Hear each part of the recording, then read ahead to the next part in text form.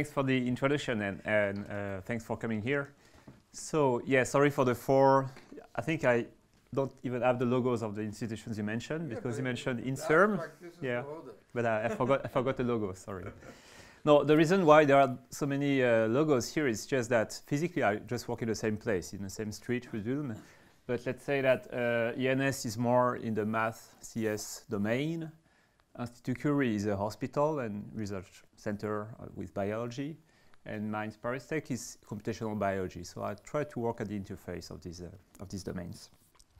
All right, so, so uh, my, my talk may be a little bit different from many of the talks this week. I'm not a biologist for sure.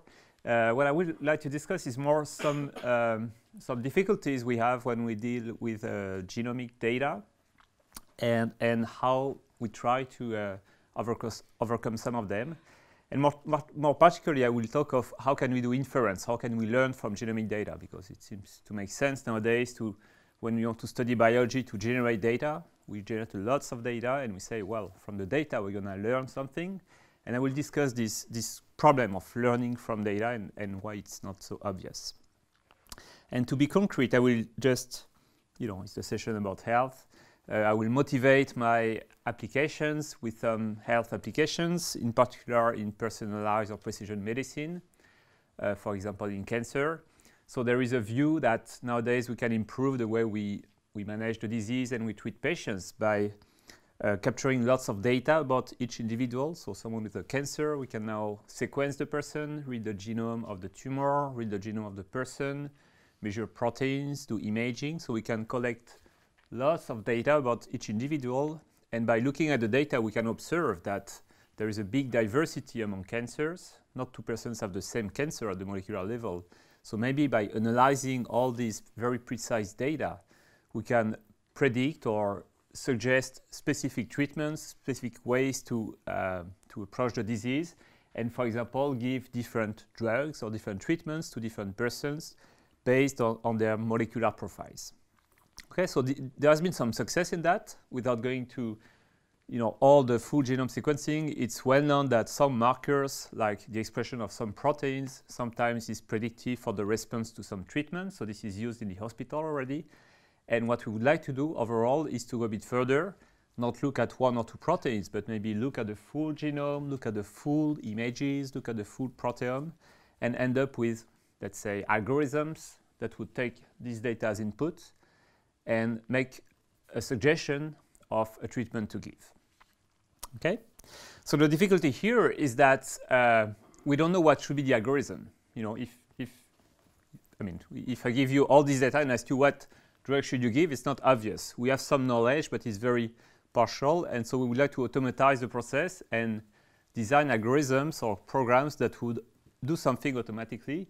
And the way uh, science proceeds these days is to say maybe you can just collect lots of data about many people, observe, you know, how the disease behaves or the response to different therapies, and try to find associations, correlations between what we measure and the fact that some drugs work or not, for example.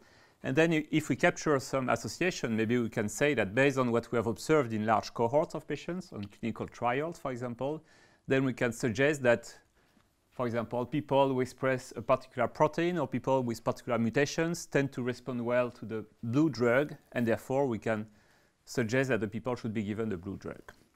Okay, so it makes sense to, to, to have this approach. And so this is typically a machine, uh, you know, what we call machine learning approach or statistical approach, where we are not sure to understand why the blue drug would work, but just from empirical observations, we can find some association between what we measure as input and, and what the, the output is, right? So the, the way, so I'm going to talk about this process of how to design an algorithm that would decide what to suggest as output from the input. So what, what drug should we give from the, let's say, genomic information. And more precisely, how this algorithm can be designed by analyzing lots of data where we have collected informations about patients and the corresponding uh, response. Now, statistically speaking, it's, very, it's a very standard and classical problem called regression or classification.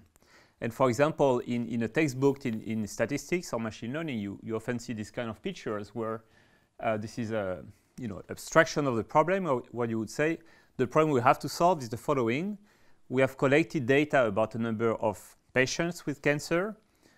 Let's say we have given them some blue drugs and we have observed that sometimes the drug works and sometimes it doesn't work. Then what we want to learn or to infer is a rule that would predict the effectiveness of the drug from the input, right? So mathematically or visually, you can imagine that uh, you know you have points where each point would be a patient here. The position of a point, I plotted in, in two dimensions here, just in, in, the, in the space, as if I measured two, two values, like the expression of two genes. So the x coordinate would be one gene, the y coordinate would be a second gene. Then you can plot the patients, and then they have colors that would be, let's say, they respond or they do not respond to the drug. And then the statistical question or the, the inference process is from this picture, can you learn a rule that then could be applied to predict the color of patients? And so this picture is quite obvious, and your brain does that all the time. That's why we call that machine learning, referencing to the brain, the capacity to learn. We observe that there is a trend to have black dots here on the upper right and white dots on the lower left.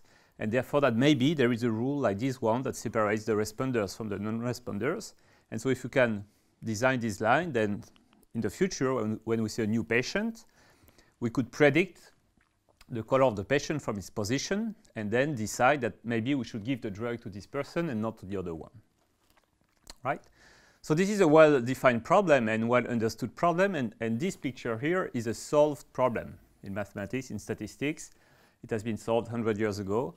Uh, logistic regression or more recent fancy approaches, uh, decision trees, for example, solve this problem exactly. Now, when I say it's solved, it's solved especially when you have, let's say, 19 points in two dimensions. You see the 19 points, they are here, you have in 2D, it's easy. Now, if you apply this approach to the genomic data, there is a problem, which is that the genomic data are not really uh, uh, 19 patients in two dimensions because uh, in genomic data, typically for each patient, you don't measure two genes, but what we want is to measure a lot of things. This is why we talk of genomics, right? It's not only two proteins, it's more we can measure all the proteins, all the genes, all the mutations in DNA, images, etc. So you can imagine that uh, now a point, a patient, is not a point in 2D, but it may be a point in 1 million dimensions if we measure the mutations, for example right? So you have conceptually the same problem as before. You have a cohort of patients, let's say black and white in the, in the sense of responders and non-responders. But now each point is not a point in 2D, it's a point in 1 million dimensions. And when you think of the process of finding this line that separates you know, the two types of points, in 2D it's easy because it's, it's super simple to have a line that separates these two things. But in higher dimensions, there are an infinite number of ways to separate 19 points in 1 million dimensions, right? And suddenly you can show even mathematically, statistically, that the problem becomes ill-posed.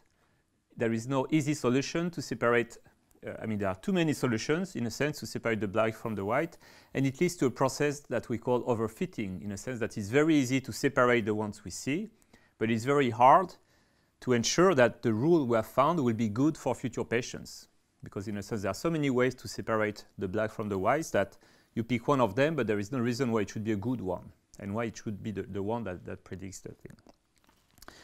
Okay, so it's a, long, it's a long introduction for something well known, which is that doing statistics in what we call in high dimension is hard when we don't have enough points. And the standard situation in genomics is really this one, is that we typically, we don't have 19 patients, but sometimes we have 100 or 1,000, sometimes 10,000 patients. It sounds a lot when you're at the hospital when you say I've sequenced 10,000 people. You know, that's already a massive investment. It takes time and it's, it, these are people. But mathematically, a thousand points in a million dimensions is, is not a good news, right? It's really the situation which is hard. All right, so is it just a conceptual issue? Well, I think not, not only because there are, there are signs that something doesn't really work in, in many genomic studies we, we do or we, we publish. Just to give you. Which cancer was the 19th patient? Oh, it was not a cancer. This one is. So this one is a is a theoretical model just to illustrate the problem. Now these are real data. So this I, I will talk more precisely of some cancers later. This could be breast cancer, and you know we can have data at Curie or in public data with 2,000 samples and they respond to some challenges. Can I ask a naive question about Sure. this? So, actually, I thought that the more patients you have, if you just co- stayed with it, within the two, the more patients actually better because Yes. you get this the, the Yeah, of curve course. better. Sure. So couldn't you, the machine, not you, run it always two uh, on, on, on the cohort of patients from this with the same disease and just do two, two, two at a time and then segregate it by, by this. Everybody Yeah. who responds to, to is either here or here for two, you will know where to put it. So why do you need to do it in a million dimensions? Well, if you do that, I mean, either you just decide by yourself that you will just focus on two genes, and then you have one rule. Gene will go through every two. Okay. w- uh, what- You start with one, every two. This is why they're So you can, you can do that, but then you, you, you still hit the same problem, which is that then, so suppose you pick two genes among a million, then you have a million times a million divided by two ways to do that. So, so you have many of these pictures, like 10 to the 12 such pictures, and among them, many of them will have a perfect separation. Just because you try so many, you know, it's a question of multiple tests. The tests. gray area, let's say, give the five time rel- uh, five years relapse. Yeah. There will be patients with four and a half, things like that, or close to five. So there will be a lot of gray area. no less than five. Yeah, yeah, yeah. But what, what I s- what I say is that just for for just you know purely mathematical reasons, if you try 10 to the 12 2D plots, you will have maybe 10 to the 9 with perfect separations. Just just because you try so many. And so then the question is, what do you do with that? So if you say I, I try all of them and I pick the best one, then this is overfitting. You will it will look like you have found two magic genes that separate the, the patients, but when you will try a new patient, it will not work, and you will ask yourself why. It's because you did not correct for multiple testing, or you have this problem of, of having, uh, too, you know, too many things to try. So we have a problem, and you're gonna solve it. exactly. But ma- maybe uh, so. Maybe uh, I will. Before that, I will just tell you uh, that it's not only a theoretical problem. And uh, for example, uh, let's take breast cancer. So this is a, you know one of the of the of the applications that people have looked the most about. Can we use not all genomic, but for example, gene expression data. So you- now we can measure the expression of 20,000 genes. So we can map each patient in 20,000 dimensions and say, can we separate? Here I will just show not a drug, but the, the risk of relapse, which is important when someone has breast cancer. If you can evaluate precisely the risk of relapse, then it can inform whether you should give chemotherapy or not, so it can really impact the treatment. So people have been very excited about using genomic information for that to replace what has been done in the clinics for many years, which is to make an estimation of the risk of relapse from the age of the person or the size of the tumor, which works to some extent, but it's not super precise. Now, there are even products that, that are used in the hospital. You know, people use something called MammaPrint. It's a test that has been designed from this analysis. Uh, it's a bit a controversial, uh, controversial issue because um, you know some people say it brings a lot, and some people say at the end of the day the genomic information doesn't bring a lot. And if we look, for example, at some publication, there has been some, you know, competitions or where to, to, to assess as objectively as possible whether it works or not to use genomic data. Some people have said let's collect lots of data. So lots here is typically a thousand or two thousand samples and ask people to predict the risk of relapse. And people typically, you know, through competition on the web, etc. And this is just one, one example of a competition that was uh, a, a big one, where, uh, where people have tried to predict the risk of relapse either from genomic data or using the age of the person and the size of the tumor and a few markers. And, and here you have a summary of the results. I will not go through all the details, but vertically you have the performance, so how well it works, right? This is a score. It's a concordance index, whatever it is. So the, the higher, the better. The higher means that you have a good prediction on new samples, not on the ones you see, but on, on the future samples. And these are the different columns here are the performance of different models that were tried by different teams. And the very um, bad news here for, for me or for, for the community is that when you take the teams who just use the good old clinical factors, so the age of the person, the size of the tumor, they reach some level of performance, let's say 62. So this is the state of the art in 1999, you know, before uh, we discovered we sequenced the human genome. Now, a few teams say, let's replace that by genomic data, right? We have 20,000 genes. Uh, that's wonderful. And here they are, right? So there were not too many teams here. There were two teams, but on average, they reached 60%. So they lost performance compared to the good old clinical factors. This is disturbing, I would say. Now, many teams say, well, you know, uh, maybe we should combine them because we have the clinical factors and let's add, in addition to that, the molecular data. And then it goes up again at a level which, in this case, is the same as clinical factors. Okay? So this is a, you know, a, a mul almost multi-billion dollar industry to design genomic tests and say we will use this test to, to predict the, the relapse. But when you look at that, the, you know, I wonder whether so this is why I say there is some controversy. Some, some doctors say, you know, it doesn't bring much to use the genomic test compared to what we know. Others say, yeah, it brings. And in fact, the devil is in the detail because even using clinical factors, you know, some hospitals may be using this model, which doesn't work. Some other hospitals may be using this model. So there are also ways to train differently the models. There is not a single way to do it. It's not only a Cox regression on that. But overall, the information content of genomic data doesn't seem to be, you know, very strong in this case. Something that we observed, so, so we and others have, have studied this data, what we observe is that, in fact, the performance here, for example, increases with the number of samples. So what you said is correct. When we have more samples, it works better. And what we observe is that when we have 2,000 samples, we are still increasing. So it doesn't mean that you know, in the future it will stay so low, but it's clear that currently, even though it seems to be a lot to have 2,000 samples, and maybe we can reach 10,000 or 50,000 now, there is a, a, limit in the performance, which is not due to the data. The data are here, they are nice, but which is due to the inference process, which is that we, maybe it could be much better if we could train on a billion patients, but we will never have that. And for the moment, there is some limitation just for not biological reasons, not medical reasons, but statistical reasons. The inference process uh, is, is limited. That's a good question. Yeah. So uh, if you look just at the clinical data, you just said they may be using different tests or different yeah. anal analytical approaches. Hasn't haven't they used statistical? I would have thought they would have used statistical approaches to eliminate the bad approaches and you know to. Yeah, sure. So, so I mean, th this plot is just a raw plot of the results of a, of a competition on the web. So, you know, it's just what happens in a real life. You give some data to 50 teams, and you ask them, build me a, a predictive model. So one guy will say, well, it's easy, I make a Cox regression model on this data. The other one will say, well, I will do the same, but I will transform my data by taking the interactions. Someone else will say, I will do a survival random forest, etc. And everybody believes they have a good model. You know, on the data, they do cross-validation, they test it. But it's just now when you test it on new data, which is the performance here, you observe some strong variation. Like maybe, the, I mean, these ones are very bad. So you can suppose that you know, there were students or people who didn't know much about it and they made a mistake, maybe. But let's say overall, so the, you know, this, this level here is the standard level in this case of breast cancer. Ideally, what you'd want to do is combine the best clinical approach with the best molecular, you know. And yes. Sure.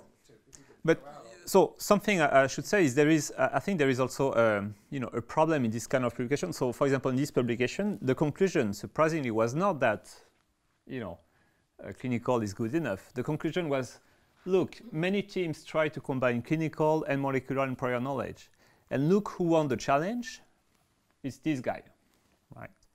And the conclusion was, therefore, there is some information in the molecular data that is not present in the, in the clinical data. Now, if you know, if you look from here, in terms of distribution, they don't seem different. It's just that more teams were here. So that's a case where, you know, concluding that this approach is better because the winner is here uh, doesn't really make sense, right? If, if you had more teams here, you would go to 60, the same level.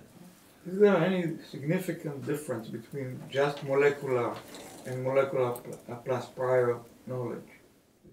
So just molecular is not a good one because nobody, I mean, there are, so in this data, there are just two points. So there is no significant ah, difference, right? It, it's, I mean, here we do statistics among teams. You know, it's a way to do science now. We, we, we do open science. We, we say, let's give data to many people and do statistics, suppose, assuming that people, you know, are as good uh, in skills. Just do prior knowledge. What is prior without knowledge molecular. Sorry, so pri prior knowledge is as opposed to clinical? Yeah, so prior knowledge is using the molecular data, but asking someone who knows about the genes what he thinks are the good genes. So, for example, it could be instead of using all the genes, I pick only the genes which I know are involved in cell cycle, or you know, I use a network or this kind of. thing. So if you just use prior knowledge without the molecular aspect. No, the prior knowledge So, I mean, here, sorry, here the prior knowledge here is some prior knowledge used to analyze molecular data. This is in, in this. And it's not better than just the, the machine doing molecular data, even though it's only two points. If you compare molecular, This that's one, yeah. had. Oh, sorry. So, the, yeah. So you mean without if we don't use the clinical factors, is- if we don't use the size of the tumor, then it's very hard to get a good model, right? I mean these two these two things. And here is I just blindly train a model in 25,000 dimensions. That's one way here. And here I say, in addition to that, maybe I should just focus on a few genes which I believe are important. And you ask doctors. and you don't do better. And there is no, it's not better, right? So you have all these, you know, disturbing facts which, um, which, which contradict the intuitions sometimes of, uh, you know, why it should work, etc. But th- that are here. Now, very quickly, a second disturbing fact, and this one I will spend less time. What, what is being predicted? What specific, specific feature of cancer being predicted? So in this case, sorry, the, the goal was to predict the risk that there is a relapse the cancer. So this is breast cancer, metastasis, metastasis. Yes, that's correct. Okay. Within a certain time. within a certain time yeah uh, well um, y- yes and no i mean thi- this thing is called what uh, it's called a survival model so you know for each person we, we have a, a person that that for which cancer was diagnosed and then it's followed A, a- a regional stage where the diagnosis was known. That's okay, crucial, right? The time of diagnosis, where it was diagnosed, what stage. If, if this was these are early stage so early, will be very different how much advanced it was. That's crucial point. Yeah, this crucial parameter probably beats everybody. yeah sure sure So, it's enough predict by Exactly. molecular data at this stage.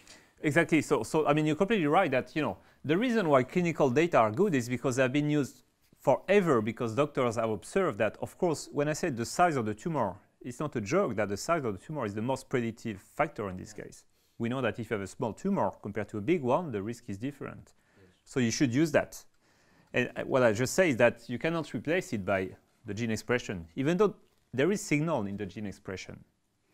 But in this case, you know, there is not. I mean, the summary is that there doesn't seem to be more signal in this plot, at least, in all the genes than in just using this, what we call the stage of the cancer. Size. It may involve the number of particular class of cells, if this being counted or not. How many cells and the size? Some of them may be not affected. Yeah, no, so, sorry. When I talk about the size here, it's really in centimeters how big the tumor was. So you look at the tissue, they may have different composition, Yeah. different uh, Sure, cells. In, in which of the tests is being involved? This parameter is crucial. These parameters are not used here. I think. Maybe they are, they are hidden in the molecular data. No, but but but but but, but, but uh, histological analysis, it's not involved or not. It's not here. I mean, in, w- among the clinical data, you have, you have like the expression of three proteins here. The clinical. So no, but there are pathologists. It's just clinical. A doctor who observed or somebody observed under microscope who Yeah. understand that. Right. It's involved in clinical. Yes. Okay. except that it's super summarized. Yeah. Right? The, they, they look at the image, they do many things, and they summarize that in, in five numbers, mm-hmm. which is does it express estrogen receptor, does it express uh, progesterone receptor, etc. No, pure, pure histological. You look at the under microscope and you see kind of the shape and then uh, evaluate. Yeah, yeah, sure, sure. As I say, as I said, this was done in the clinical data, but this is summarized in the, what we call the grade of the tumor, if you want. And the grade itself is a mixture of uh, the, the you know, number of cells in mitosis, etc. But here is just a number between 1 and 4. Right. Okay. Uh, so second observation, and this one also is completely not new, but is still disturbing, is that in the early days of genomics, researchers have said, let's look at the genomic. So let's do what I showed previously. We have molecular data, so we can fit a model to predict the risk of relapse. And maybe we don't need to have all the genes. Maybe a few genes should be suf- sufficient. Even you know, if you're a doctor or biologist, of course, you, nobody believes that the 20,000 genes are useful to predict the risk of relapse, right? So people have said, well, we can use nice methods to select genes and build what's called molecular signatures, meaning a subset of the genes whose expression would be enough to have a good prediction of the, risk of relapse. And so as early, uh, you know, in the early 2000 years, several teams did the same things, basically. They say, let's look at breast cancer, let's look at the good genes, which allow to predict the risk of relapse. Let's publish it and let's make product. You know, I say MammaPrint, uh, Uh, this is this one, this is a product in the clinic now. What's disturbing, and, and you know, it's not new, everybody knows that in the field, is that, for example, you have two competi you know, two different teams focusing on the same problem, listing their magic 70 genes or 76 genes, and when you compare the list of genes, there are three in common, right? Is it a lot or not? Well, this is what you expect if you randomly pick 70 genes out of 20,000. On average, you get three in common, right? Yeah, but this one is more specific for the lymph node metastasis. Yes. So, So- this one is more general. So maybe that's So that's a good point. So you, I mean, there are many reasons why it could be. It, it's not exactly the same problem, right? It's a different kind of metastasis. It's not the same technology. It's not the same cohort. So there are many reasons why, you know, it should not be the same.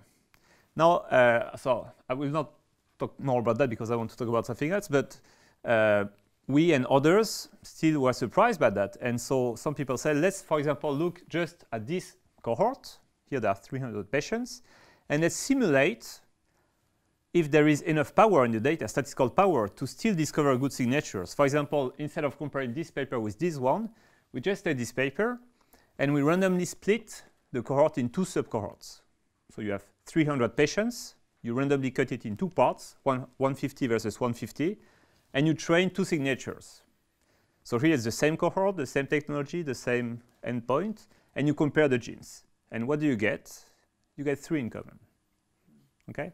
So basically, uh, and, and, whatever method you use to, to select the genes, you can do a t-test, you can do complicated methods, but you never get more than that just because, and it has been also investigated and published by other teams. So you compare by expression or by sequencing of the genes. What do Here it's expression. ex- but not sequencing genes, not the mutation. not This is very, very old paper. This is microarray. Yeah, it was uh, in 2005. Uh, so gene expression. But just imagine you have these, these matrices with 300 patients and 50, uh, 20,000 genes, and just randomly split the two, estimate two signatures. In the same cohort, you get two different signatures. In fact, there were some papers showing that, for example, if you randomly pick 70 genes and build a model on that, then you get the same performance at the end, right? So, it, you know, what it means, and, and it's not really a surprise nowadays, is that you should not focus too much on the 70 genes here, on the 76 genes here, because you can pick any other subset of 70 genes, more or less, it will work the same, right? So these are not the magic genes.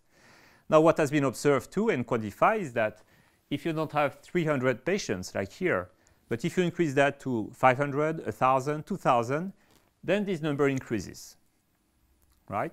Because it's purely statistical here. It's because you know of the correlation structure among the genes. It's just a hard problem to identify uh, with certainty some genes which have predictive signals, and and and the you know the, the, the statistical problem becomes easier with more samples. And here, you know, in terms of how many samples you have to, to fit a model and, and how, how many dimensions you have and the correlation structure, it's just situation extremely hard. And empirically, you get this kind of thing. All right, so it was a long introduction, uh, just to, to justify the fact that it's, uh, you know, there are challenges here.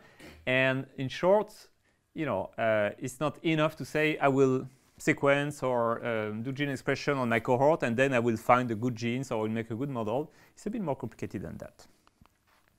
So what I will therefore very quickly discuss, and I will, I'm sorry I spent too much time, but I think it's important to discuss that, discuss what uh, some you know, more mathematical or abstract ways to try to just to, to make some progress in this uh, problem, which is not biological here. It's how do you get uh, extract knowledge from this data, which have very sometimes strange geometry or uh, topology in the data. So I will discuss two things. One is about, uh, and, and they are very, very standard, but I will illustrate them on some things we did, but it's, a, it's a broader topic. One is uh, showing that what we call regularization in learning is important and can be adapted to the problem. And the second is that maybe instead of you know, taking the raw data, typically when you have a patient, you say, I measure the transcriptome, so it's a vector of numbers. maybe it's not a good representation, and maybe doing something else, like I will explain what this is, changes the geometry and makes the, the inference process easier, right?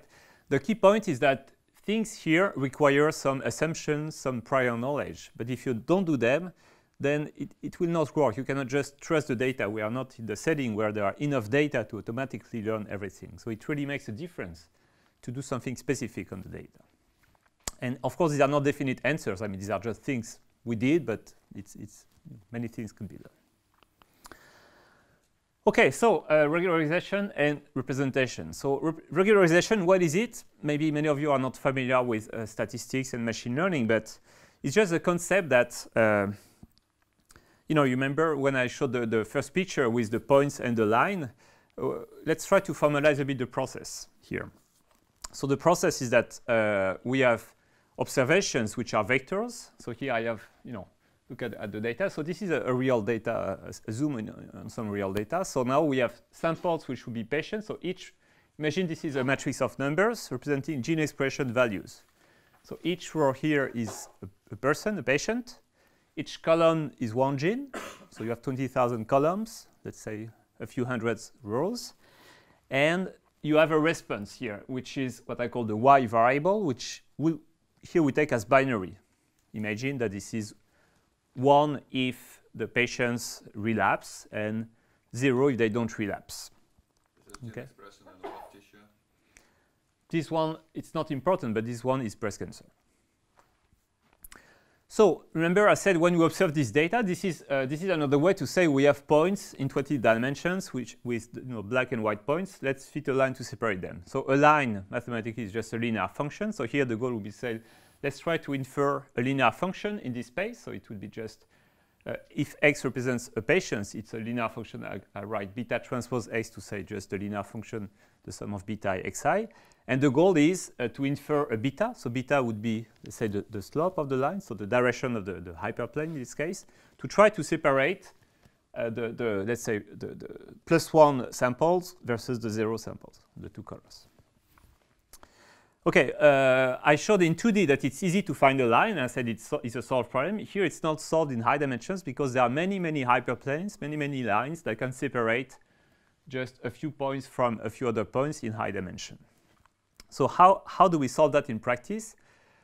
Well, the, the, the standard state of the art is to say, let's, uh, let's regularize, and regularizing means that we write an objective function, so we do some optimization, optimization over you know, the possible lines, saying that we're looking for beta, so beta is the, is the, is the direction of the hyperplane, that minimizes a sum of two terms, I will not detail what, what are the two terms, but the first term is just a term that measures how well beta separates the two, the two things. So this is you know, a measure of you know, how well uh, you separate the two things. So this is the center things. But implicitly you say it's Euclidean metric, which is not justified. Yeah, exactly. Which is not by no means justified. It's just out of, I agree. out of blue air. Exactly. Right? So, so this would be, uh, let's try to separate the data. And if you do that, I said many times it doesn't work because it's an ill-posed problem. There are many ways to have a perfect separation of these points in high dimension.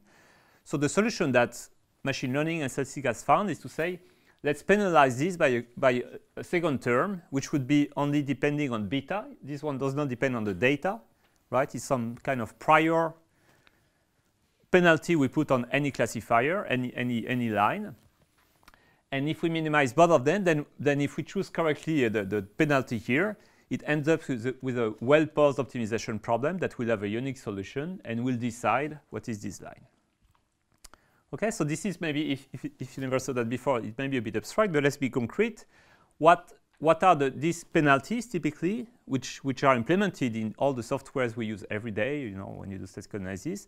Maybe the most, stand, the most standard two penalties are just norms right? So beta is a vector, and the standard uh, penalties used are the, just the Euclidean norm, squared if you want, or what's called the L1 norm, which is, so the Euclidean norm is the sum of the squared coefficients, and the L1 norm is the sum of absolute values of the coefficients. So these are two norms over uh, vectors. Here you can show in the space, if you have two dimensions, the, the, the, the light blue shapes here are the the unit balls of these two norms. So you have the L2 norm is just a circle, L1 norm is more diamond shaped here.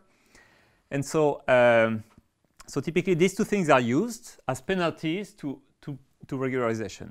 And if you do that, it's called, it has names, and it's called ridge regression, ridge logistic regression, support vector machines, all these uh, you know, things that work on average involve these two things. Now what you see is that, uh, I mean, these are pretty generic. It's not about biology here. There is no notion of gene whatsoever, but these are already quite, quite good at ensuring that in high dimension, you have a well-posed problem and it does something. And just uh, last comment on that, so they have names. You know, the L1 norm is often called the, the lasso regression, and the L2 norm is called the ridge regression. Even though you know, they look a bit the same, they are just two norms. When you use them in practice, they end up with very, very different models. And in particular, for geometric reasons, it's known that if you penalize with the L1 norm, which is non-differentiable at some points, then the solution of the optimization, so the, your final model, will be sparse, meaning that the vector of, of weights will have many, many zeros. And you can control the number of zeros with the penalty parameter here. Whereas if you use the L2 norm as penalty, it will not be sparse. So if you translate that in terms of you know, genes, it means that this one will lead to gene selection, because at the end of the day, your model, even though if it's a model in 20,000 dimensions, will just contain a few non-zero components. This will be the selected genes. This one will be uh, non-zero everywhere. There is no gene selection. So, uh, since there are probably other non-mathematicians in the audience, doesn't it worry you that you get very different results when you change this arbitrary penalty or semi-arbitrary penalty function? I mean, if you would converge to the same answer, you would say, well, it doesn't matter so much how oh, yeah, you structure yeah, sure. the penalty. Yes, so indeed, so you know, if if we were like uh, in the easy situation with many samples in small dimension, what we will observe is that the two the choice of the penalty is not important, and probably we would not even need a penalty. Mm -hmm. So here, something I didn't say is that there is a, you know, a weight lambda that, that you, you fix, you know, that, that balances how much penalty you put compared to how much you, you believe in the data. So in easy situations, all the penalties converge to the same solution, which should be the ones you get without penalties. And indeed, as you say, in the situation where we are in genomics, where we need to penalize, then you get very different, when you look at you know, the, the vectors, they are very, very different except there is no statistical way to say one is better than the others. And here we enter the, the you know, the field where we have to make bets or prior assumptions and typically ask, uh, assume that we believe that a good model should be sparse. Well, this those huge area depends on how many parameters, square root of n. It's in inevitable error in all these dimensions, square root of n. So error in misunderstanding grows with dimension pitch effects. So I think it is a big problem with all these methods as a yeah. ad hoc ad hoc norms, and sometimes they miraculously they work. But yeah. there is no reason why they should work. Yeah, I mean it's so so a key now, now an obvious question is okay in, in, in genomics should you use the L1 or L2 ones? Anybody yeah, else? He's trying to choose to see which one will fit better. Yeah. To separate. Yes. But none of them may work. I mean, this no? is a specific what you have to invent the right the, the right way. Yes. Invent them. You take them from textbooks because people use them. It's absolutely no justification. That's yeah. Yeah, and, and, in fact, you know, I just put L1, L2. You can imagine any norm is, is yeah, very random. You choose two random numbers. I'm sorry, you have to really invent something better. Yeah. yeah. Yes.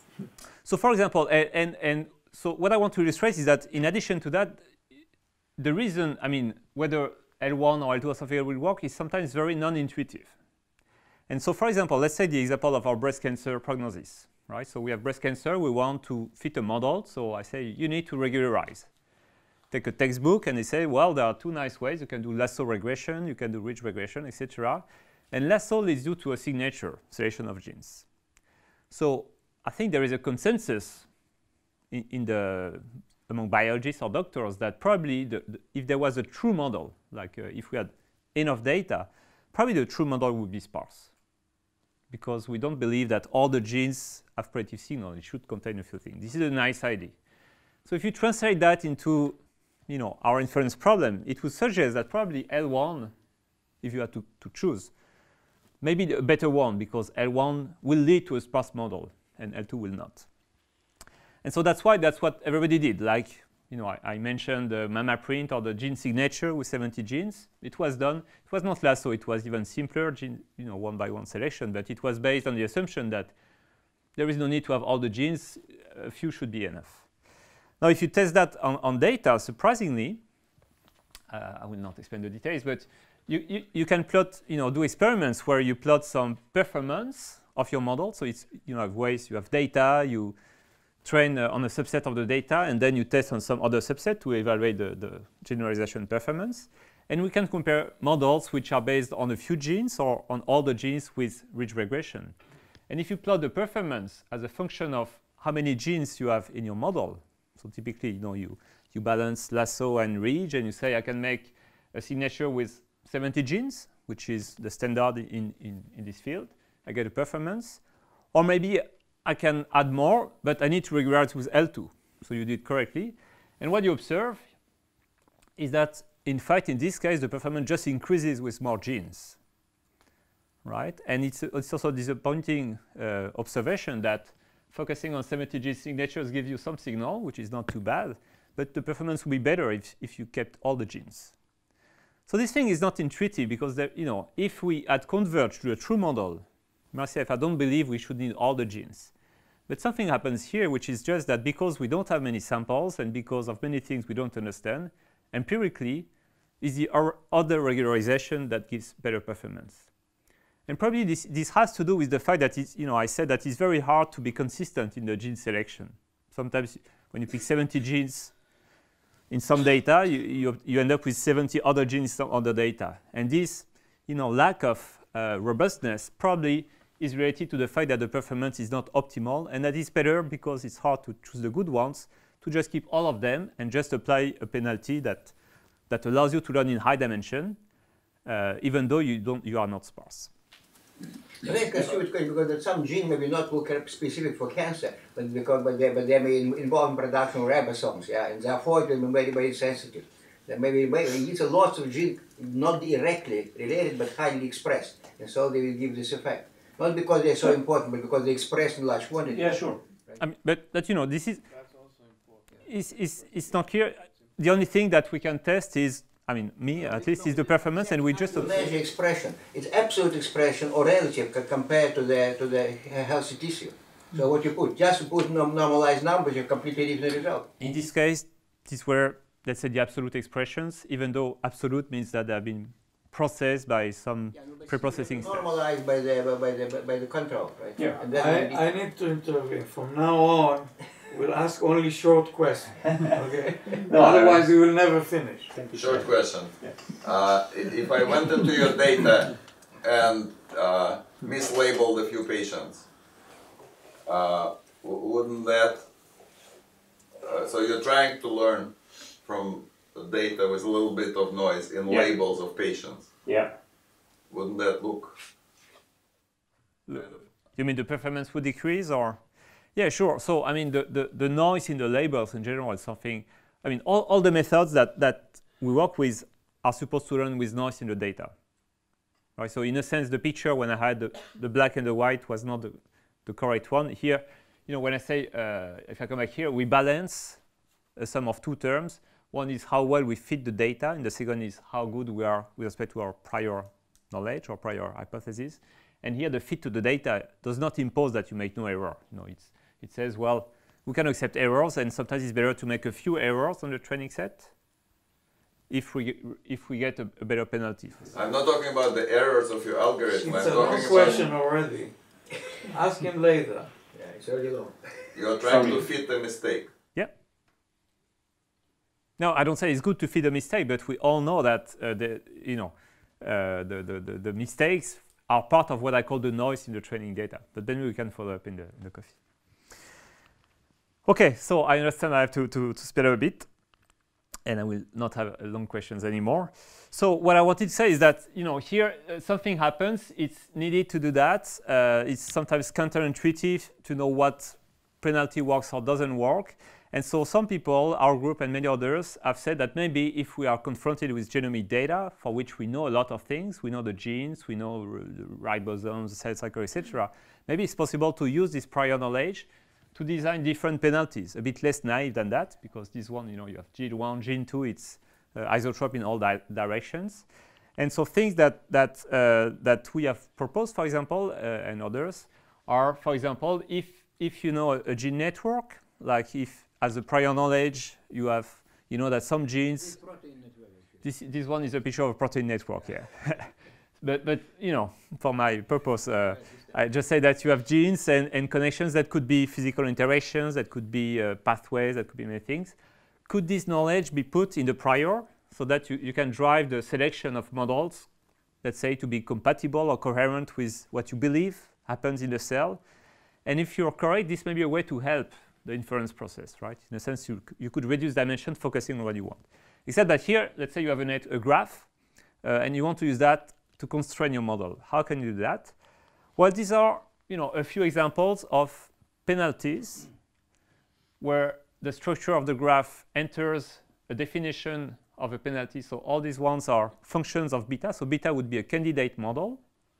Then for each candidate model, you can quantify something. So this is to replace the L1 or the L2 norms, right? And then you could say, maybe I can use these penalties, put it in the optimization, and this gives me my inference model, where at the end of the day, I will try to fit a model that explains the data and is small in terms of these penalties. So what are these penalties? I won't have time to detail all of them. Maybe I will just illustrate the weirdest one. I mean, uh, I mean, I know there is heterogeneous level in mathematics in the room, but uh, for many people, this one is a bit strange to, to grasp. Like if you have a beta, I say a penalty, a norm for beta would be the supremum over alphas, such that alpha i square plus alpha j square is more than 1 for connected genes of alpha transpose beta. What is that? It's a bit ugly. It doesn't seem to make sense uh, for many people. But in fact, this one can be illustrated as follows. So this is the, the penalty I was referring to. It's just a variational form of a norm that is just a convex hull in high dimension. So what do I mean? Uh, imagine, so here we live in the space of, you know, the dimension of the space is the number of genes. So it's not 2, it's 20,000. And what we do is that we, we design a shape in 20,000 dimensions in this case, just by saying that when you have a gene network, so you take all pairs of genes which are connected. For example, suppose you have five genes here. You take the pair 1, 4. These are two genes. They are connected. And therefore, what you do in this case is that in the high dimensional space, you just draw a circle with unit uh, radius in the subspace corresponding to dimensions 1 and 4 right? So you are, you are in high dimension, and, but you can focus on just two dimensions, dimensions 1, 4, you draw a circle. And then you do that for gene 1, 4. Then you do that for all the pairs. 2, 4, you draw another circle. Uh, 4, 3, you draw another circle. And you end up with many, you know, two-dimensional circles. And then you take just the convex hull, and the convex hull is just the smallest, you know, shape, convex shape, that contains the circle. So this picture just shows what would happen if you have two circles in 3D. Here you have a horizontal circle, a vertical circle, and the convex hull, you know, is like the Chinese lantern that uh, fits the circles, but not more. Right? So if you do that, then uh, the, the, this defines a, a, a, norm. Like you can take this as, as the unit ball of a norm, and this equation is just the definition of this norm. Right? And so now you can put this norm instead of the L1 norm or instead of the L2 norm that I said before.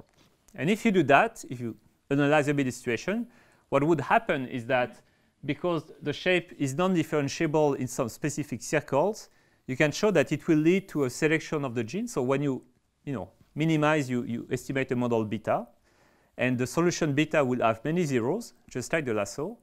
But among the non-zeros, so the genes which are selected, you will see that many of them are connected on the graph. And the reason being that the solution you know, will be on some of the circles which correspond to the fact that two connected genes are non-zero.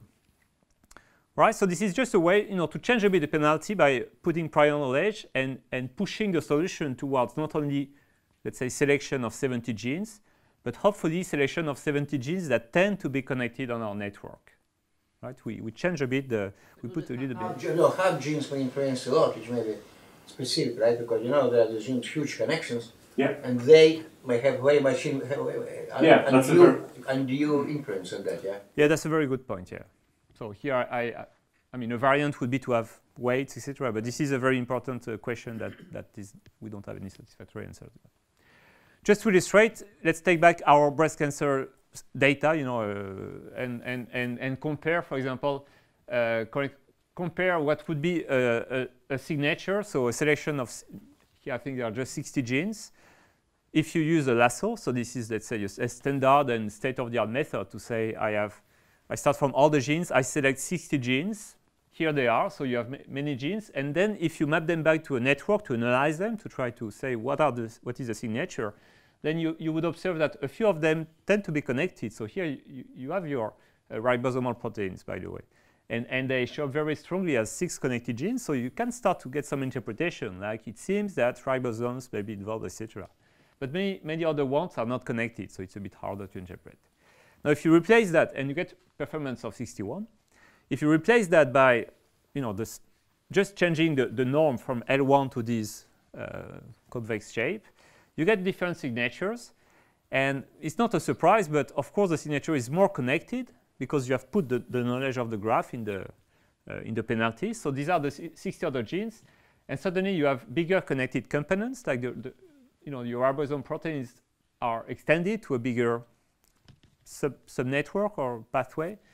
You see appear a second big component, which are cell cycle genes, and a few other ones right? So here, you know, it's hard to say it's better because you put the knowledge of the graph and therefore it's mathematically uh, obvious that you would get more connections. It's what you designed.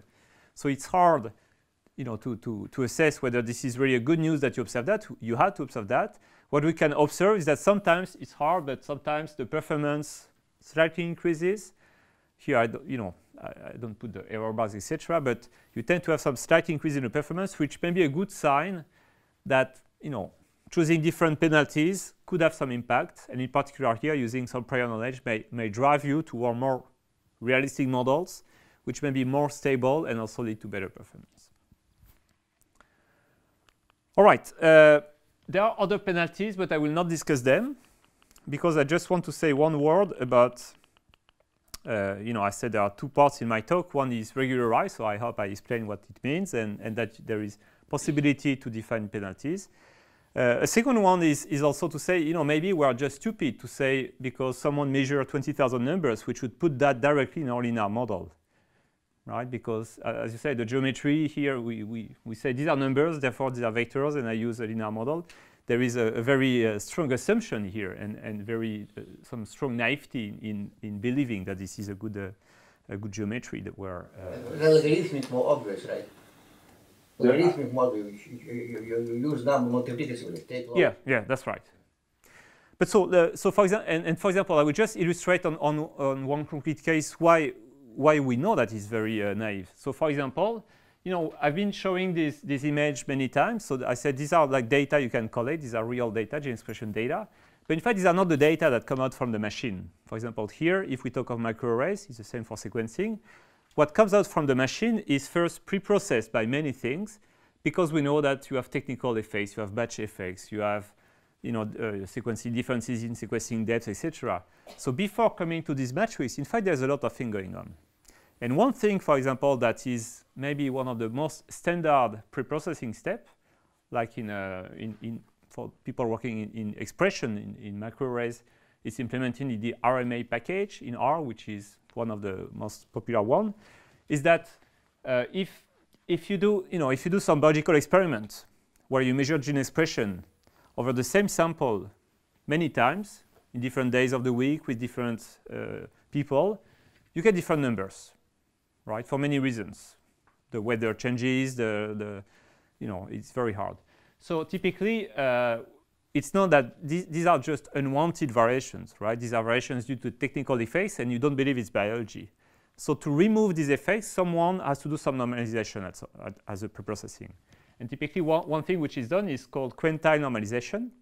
It's a transform that given, so imagine that here each, each box plot would be one sample. It's a distribution of gene expression over one sample. Usually, you don't take the, the raw values, you normalize them so that at the end of the day, when you have many samples, you more or less have the same values. So not in the same order, right? It's not the same genes which have the same values, but if you look at the distribution of values across each sample, it ends up being the same. This is called quantile normalization, right? Now, what this says is that, in fact, what you kept from the original data, the original signal, is not really the values. It's just the relative order of the genes. Because when you move from the raw data to the data you will use in your models, uh, it's just the order that has been kept. And then from the order, you define the new values that are constrained to follow a particular distribution. Right? So, so what can you say from that? Well, a few things. So first, uh, the, the thing I will, uh, again, I will be uh, short now one question is, uh, you know, here I say you transform your data so that at the end they have all the same distribution. First, it's not here what should be the final distribution. It's a bit arbitrary, right? You could say it could be, you could impose that to be a Gaussian distribution, a uniform distribution, an empirical average. There are many choices possible, and there is no clear reason why you should decide one or the other. So, for example, something we, you know, these are different possible distributions. So something we worked on with, with a student of mine is to say that maybe this thing could be optimized, and I don't have time to explain, but it's possible mathematically, uh, don't look at the equations, but not only to say I first transform and then I fit a model, but you could say I transform and I fit a model and I optimize both the transformation in terms of the target distribution and the vector beta that defines the model. Right? So in short, there are uh, it's a joint optimization over a model. Sorry, I changed from beta to W, but it's just a linear model. And the parameter of the transformation. Okay, so it's possible to do. Uh, and, and the interesting uh, byproduct of that is that when you do that, you need to clarify what's the link between the target distribution and your optimization problem. And in fact, there is a simple link which goes through a first representation of your each sample so imagine this is one, one patient, one vector of expression. Then what you, I said the information you keep from this, uh, from this sample is, is not the values, in fact, you will change the values. It's the relative order of the gene. So it's what's called a permutation in mathematics. You know, it's a, it's a ranking of the things. And so in our case, uh, the, the, way we represent this thing is through a what's called a permutation matrix. It's a binary matrix that indicates what is the position of each gene. Right? So in each you know, in each column corresponds to a gene and each row corresponds to a rank. And you can show that if you replace a vector of expression like that by this matrix, then this is what corresponds exactly to, um, sorry, I'm asking the details, to optimizing both the model and the, the target distribution. Right? So I don't want to go to the details of that, but the, for me, the important lesson here uh, and you know somehow it works. But the important lesson here is that to make this work, what we have done and what, what we do sometimes without re realizing it is that when we use gene expression data, in fact, we don't really use the values that were measured. We first transform gene expression into a permutation. So we move to a discrete setting, right? The space of permutation is called the symmetry group. And then when you have, let's say, a thousand samples, it means you have a thousand permutations. And then you learn from that. So it's a new representation. And you know, one way to do is, is to do what, what I presented, meaning that from the permutation, we remap to the space of vectors, and then we make a linear model. But maybe you don't have to do that. Maybe you can directly say, what about, sorry, what about designing algorithms or methods or ideas that directly work on the symmetry group? So it raises the question of can you learn on the symmetry group? And in fact, many people you know, do that and are excited by that, right? So in short, uh, even though uh, we believe that we work with, with, vectors of numbers that were measured, in fact, there is something in between that, that happens in many cases, which is working on the symmetry group. And just as an idea, maybe it's possible uh, to, to directly start from here and, and design uh, you know, new approaches based on doing something. So here the question is, suppose you want to make a linear model uh, you need to define what is a linear model over the symmetry group. Of course, mathematics has a lot of tools for that, but uh, it's not it's not uh, completely it's not like a strange sorting problem, no? Not. I mean, it, maybe it can be formalized this way, but it's not obvious. Okay, so uh, so I think I, will just stop here. Uh, you know, because I have still a, a long thing. Uh, I could talk more, but obviously I don't have time to. But just just as as a teaser, maybe the the last thing I wanted to to mention quickly is that.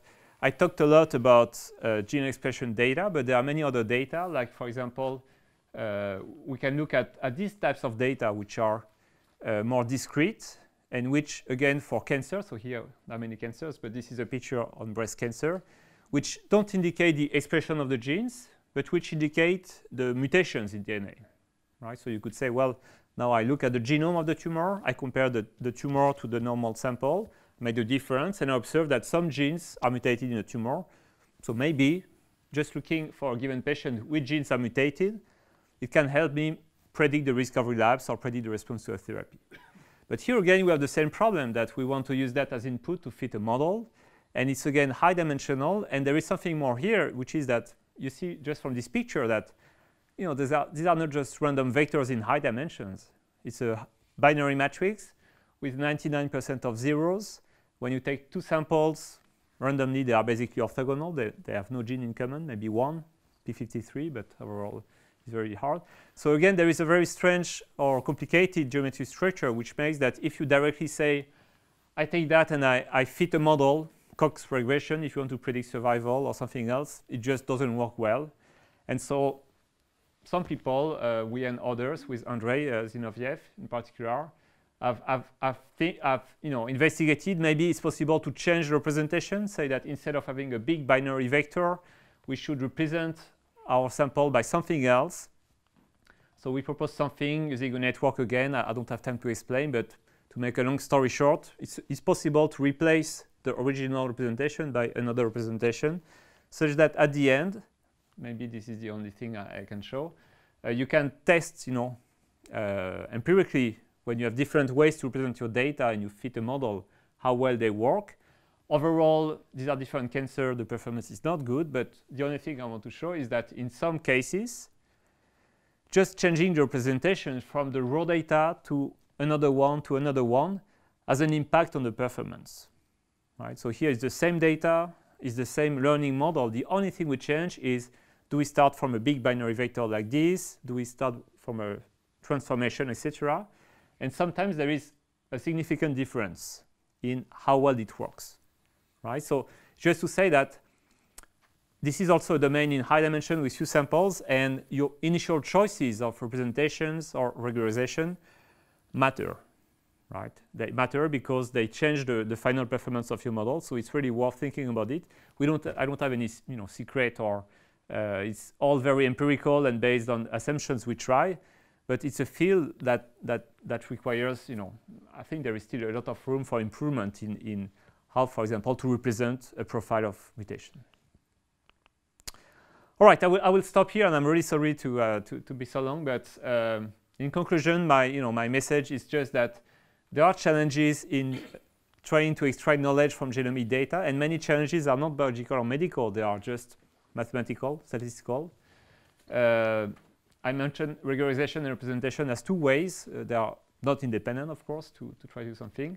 And more importantly, I think there is really a subtle interplay between you know, knowledge and biology on the one hand, and how we can put that in the mathematical or computational framework. And the intuitions for why one representation works or not is, is often a mix between biological reasons and purely mathematical reasons. Thank you. Uh, we have time for one or two questions. That's it. Okay. So uh, for biologists, it's obviously very worrisome that the mathematics that you do with the data gives you different answers. And the question I'd like to answer, ask, and I'm not sure if there's an answer, is is the reason why the processing, the mathematics, is so critical is because the quality of the data isn't good, or is it because the complexity of the problem is very high?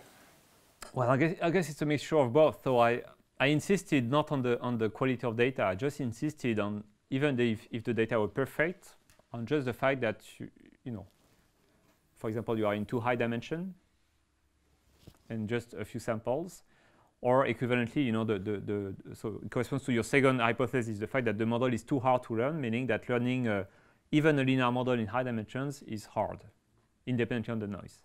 Now, the fact that you have noise doesn't help. I think more or less, I mean, for me, I, I consider that as additive problems. Like uh, having noise makes the problem hard, and having high dimensions makes the problem hard, and you know, the difficulty is somehow the sum of the two. So you, it's easier if you have less noisy data and if you have more data in, in lower dimension. Um, so uh, I happen to uh, routinely deal with uh, you know lasso models, and my experience with the data is prediction doesn't work. You look at which cases are hard to predict. There are usually a few bad apples. You throw those out, everything works beautifully.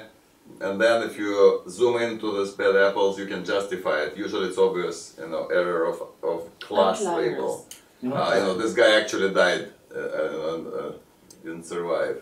Um, I'm just wondering if in your experience there's you know some similar. Yeah, so, so I would say this happens all the time, and, and I completely agree with you that you know in all even in all what I presented, in fact, I completely uh, didn't talk about some other preprocessing, which is typically that we remove outliers, this kind of thing, right?